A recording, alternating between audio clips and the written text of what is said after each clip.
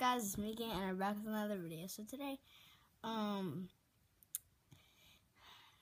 uh, I am doing another month review, and so it is May, um, and I'm gonna be doing a bunch of month reviews every month, obviously. Um, oh, hold on, I need to change my calendar. well, I'll do that later. So this month we are going to Colorado uh, Thursday until uh, we're leaving the 11th and coming back the 15th.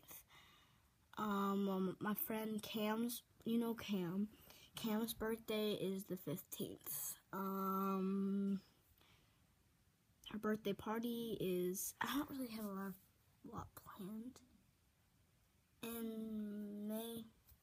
Okay, but let me see all the birthdays. So,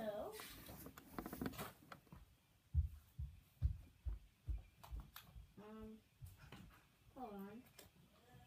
Guess I'll have to check. Oh, she's so pretty. Um, one second. Sorry. Really hard to put this in. You know